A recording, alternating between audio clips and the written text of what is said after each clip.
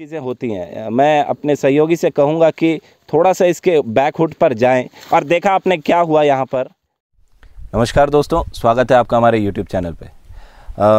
Venom के बारे में बात करते हुए हमने एक वीडियो शूट किया था और उसी कड़ी में आज ये उस सीरीज़ का सेकेंड एपिसोड है, जहाँ पर हम बात करेंगे टाइप्स किस तरीके से वेनम काम करता है और इस वेनम टाइप के दो प्राइमरी टाइप के बारे में और भी कई सारे हैं हम एपिसोड वाइज उसको लेकर आएँगे और आज हम कवर करने वाले हैं न्यूरोटॉक्सिक वेनम को। तो चलिए दोस्तों शुरू करते हैं।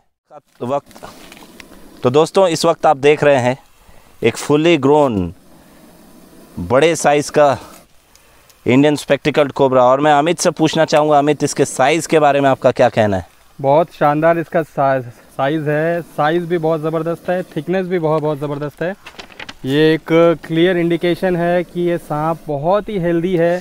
आ, बहुत शानदार ये सांप है। अक्षय एक और जगह मैं आपका ध्यान यहाँ आकर्षित करना चाहता हूँ। इसके वेनम ग्लैंड आप देखिए। हाँ ये इस ये जी, दो जी, जगह जो वेनम ग्लैंड हैं कितना शानदार उभार दिख रहा है आपको। बिल्कुल अमित और ये बताता है कि इसके अंदर कूट कूट कर न्यूरोटॉक्सिक भरा हुआ है। तो अमित इसके वेनम टाइप के बारे में हम बात कर रहे थे। न्यूरोटॉक्सिक इसका वेनम होता है। और जनरली देखा गया है कि वेनम्स जो होते हैं उनमें कई तरीके का प्रोटीन होता है एंजाइम्स होते हैं। प्रोटीन का काम होता है। बेसिकली जो वेनमस प्रोटीन होते हैं उनका काम होता है अलग काम होता है। जो एंजाइम्स होते हैं उनका काम अलग होता है। तो मैं आपकी सबसे पहले टिप्पणी चाहूँगा कि न्यूरोटॉक्सिक जो वेनम होता है वो क्यों सबसे ज़्यादा फास्टेस्ट माना गया है in terms of potency in terms of processing in terms of killing अच्छा न्यूरोटॉक्सिक जहर जो है आ, ये हमारे सीधे नर्वस सिस्टम पे एक्ट करता है और प्रोटीन बेस्ड ये जहर है। तो ये हमारे नर्वस सिस्टम पे असर करता है और ये क्या करता है हमारे शरीर के जो बाकी हिस्से हैं उनका कनेक्शन जो है हमारे दिमाग से का, काटने लगता है। तो उनका काम करना बाधित हो जाता है उससे। इसलिए ये जहर जो है हीमोटॉक्सिक या बाकी जहरों के मुकाबले ज़्यादा फास्ट एक्टिंग होता है। आ, एक चीज़ और मैं यहाँ बताना चाहूँ चाहूँगा अक्षय जहर से हट के आ, ये जो प्रोसेस अभी आप देख रहे हैं ये जो आवाज़ बिल्कुल। अब तक आई है हिसिंग साउंड ये है और ये कैसे करते हैं साहब? नेज़ल ओपनिंग जो आ, हमारे दर्शक जो हैं वो देख रहे होंगे ये नेज़ल ओपनिंग से ये ढेर सारी हवा खी खींचते हैं। और उसके बाद उसको उसी स्पीड से रिलीज़ करते हैं जिसके कारण ये आवाज़ आती है वार्निंग के तौर पे जो है इसको सांप इस्तेमाल कर, करते हैं।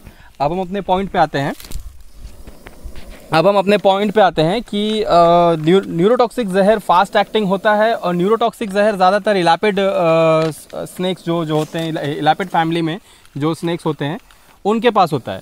लेकिन अक्षय एक सामान्य चीज़ एक कॉमन चीज़ देखी गई है कई बार कि अलग अलग इलाकों में पाए जाने वाले सांप और इस पॉइंट पे हम शुरू से ज़ोर देते आ, आ, आ रहे हैं कि अलग अलग इलाकों में पाए जाने वाले एक ही प्रजाति के सांपों में कई बार ये जो एंजाइम्स और प्रोटीन्स हैं ये डिफ़र कर जाते हैं जिसके कारण इसका असर जो है अलग अलग इंसानों पे और अलग अलग सांपों के काटे गए लोगों पे अलग अलग होता है। इसका क्या रीज़न हो सकता है आराम से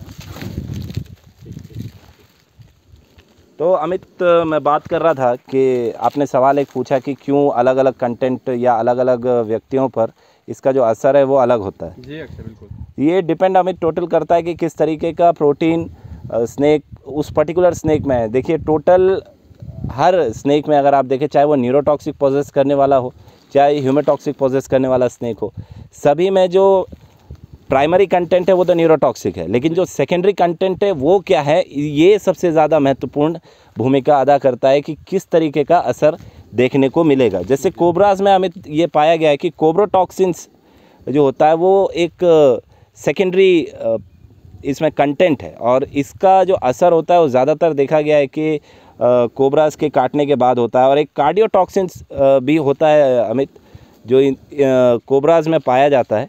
तो इसके बारे में आपकी क्या विशेष टिप्पणी है? कार्डियोटॉक्सिक बिल्कुल आपने सही सही कहा अक्षय। ये दिल आ, को जो काम करने दिल को जो काम करने में हेल्प करती हैं जो मांस पे, पे, पे पेशियाँ उन पे ये असर करता है और उनको जो है ये बिल्कुल स्लो बना देता है जिससे दिल जो है वो स्लो होके धीरे धीरे काम करना जो है वो बंद कर देता है। बहुत खतरनाक और न्यू न्यूरोटॉक्सिक जहर में ही ये देखा गया है कि कार्डियोटॉक्सिक प्रोटीन भी इसमें पाए जाते हैं और काफ़ी लीथल हो सकता है ये। तो बिल्कुल अमित और न्यूरोटॉक्सिक का जो असर होता है दोस्तों वो नेफ्रॉन नेफ्रॉन्स का जो सिग्नल्स होते हैं जो न्यूरॉन्स के बीच में सिग्नल ट्रांसमिशन होता है जो वोल्टेज जो ट्रांसमिशन अगर मैं आम बोलचाल में कहूँ वो होता है उसको ये बाधित करते हैं और इसी कारण जो है हैंड लिम्ब कोऑर्डिनेशन पैरालिसिस ये सारी चीज़ें होती हैं। मैं अपने सहयोगी से कहूँगा कि थोड़ा सा इसके बैक बैकहुड पर जाएँ। और देखा आपने क्या हुआ यहाँ पर?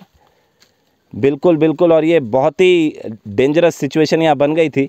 और शायद गर्मी ज़्यादा है, और इस कारण ये हैरास हो रही है, परेशान हो रही है। तो अब हम इसे जाने देंगे और बाकी की जानकारी जो है आगे कंटिन्यू करेंगे। तो आप देख सकते हैं, रास्ता इसका छोड़ दिया है हमने। अब जब इसको सही लगेगा ये मूव करेगी। एक बार फिर मैं दर्शकों को दिखाना चाह, चाहता हूँ, ये शानदार साइज़ देखिए आप इसका। कितना शानदार इसका साइज़ साइज़ है गिर्फ देखिए इसकी। जी बिल्कुल, अमित, इसकी गिर्थ भी बहुत शानदार है, इसकी लेंथ भी बहुत अच्छी है। तकरीबन चार फीट कुछ इंचेस के आसपास ये ज़रूर होगी। और इसकी इस पोजीशन को समझना ज़रूरी है, जो भी नए स्नैक रेस्क्यूअर्स हैं उनको, कि जब ये हुड उठाते हुए थोड़ा सा मोमेंट इसके लोअर अपडोमिन में या बैक पोर्शन में दिखता है तो आप ये समझिए कि अब ये आगे आके आपको बाइट करने के मूड में है। और इसे इस समय अगर कहा जाए तो ये थोड़ा सा स्ट्रेस्ड फील कर रही होगी अमित। और डेफिनेटली इस समय ड्राई बाइट की संभावनाएँ जो हैं वो ज़ीरो हो जाती हैं। बहुत सही कहा आपने। इस समय अगर ये बाइट करती है तो ड्राई बाइट बिल्कुल नहीं होगा क्योंकि अ, इसको थोड़ा सा परेशानी यहाँ फील हो हो रहा है। ये दो या तीन लोगों को जब अपने आसपास देख रही है तो थोड़ा परेशानी तो इसको ज़रूर फील हो रहा होगा। हमने रा, रास्ता इसका खुला छो छोड़ दिया है। जाना चाहे ये बेशक निकल सकती है। तो अब हम दोस्तों इस वीडियो को यहीं कंक्लूड करते हैं। और जो आगे की जानकारी है related to neurotoxic venom we will continue in the later part